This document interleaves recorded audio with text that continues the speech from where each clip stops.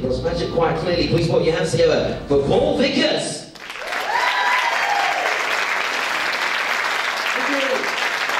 What are you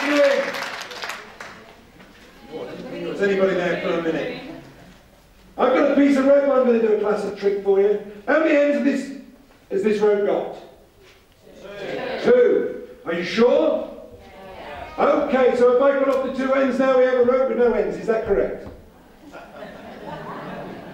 I can see you're going to get confused. What I'll do, for the purposes of this trick, we'll call this A and we'll call this B.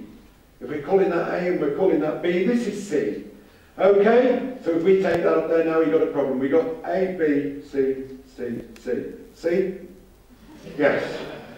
So we'll take this, these two C's over here. If we get rid of this C, then we'll have two A's, two B's, and two C's, just like my school report. Yes?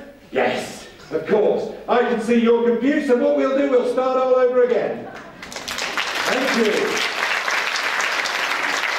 I'll do it nice and slow this time. We've got A and we've got B. Yes? We've got C. C? C. We'll drop A and B down here. We've got C up here. Okay? We'll take the scissors and we'll cut C. C's having a rough time of it, isn't it? Okay. Now, what happens is, if we take this one, and this one, how many ends have we got? Oh. How many ropes have we got?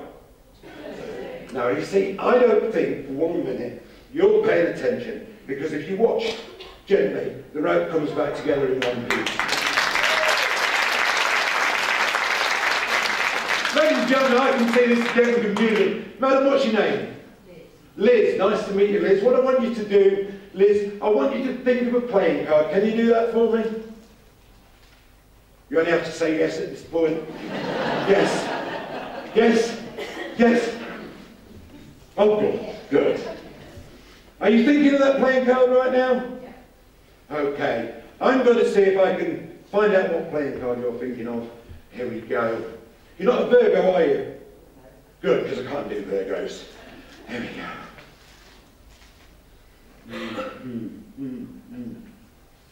Here we go. This one. Yes. This one. Liz, you got that card in mind? Yes.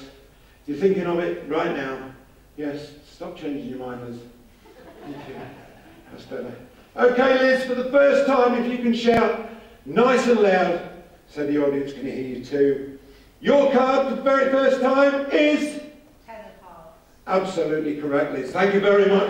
Good night, God bless. Thank you. This is the Paul Vickers.